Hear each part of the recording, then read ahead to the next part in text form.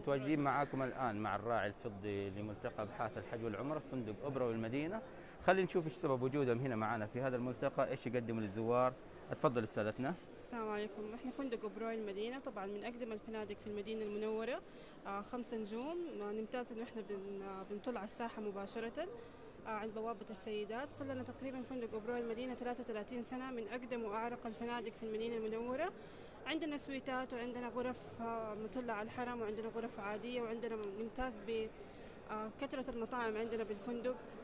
آه وغير كده آه كبار الشخصيات دائما بينزلوا عندنا الحمد لله. إحنا وجودنا اليوم في الملتقى راعي فضي آه وكمان حابين كنا إحنا نقدم خدماتنا ونعرض خدماتنا للزوار ونكون مشاركين في هذا ال ال المعرض الراقي شوي. بس طيب الله يعطيكم العافية شكرا لكم. طبعا فندق أوبرا والمدينة من أعرق الفنادق المتواجدة في. المنطقة في المنطقة المركزية.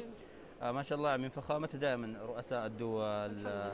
الملوك في الدول المجاورة دائما بينزلوا في هذه الفنادق لأنها تعتبر فخمة وتعكس الطابع الرئيسي الحمد لله وإحنا عندنا الطابع الكلاسيكي هو اللي يطغى على الفندق فعشان كده دائما كبار الشخصيات وكبار الزوار آه، يحبوا ينزلوا في فندقنا والحمد لله إنه إحنا قدرنا إنه إحنا على قد هذه ال 30 سنة أو 33 سنة اللي إحنا في يعني في منافسين دخلوا في السوق وفي منافسين خرجوا قدرنا إنه إحنا نكون الحمد لله المطلب الأول في صفوة العالم الإسلامي في المدينة المنورة.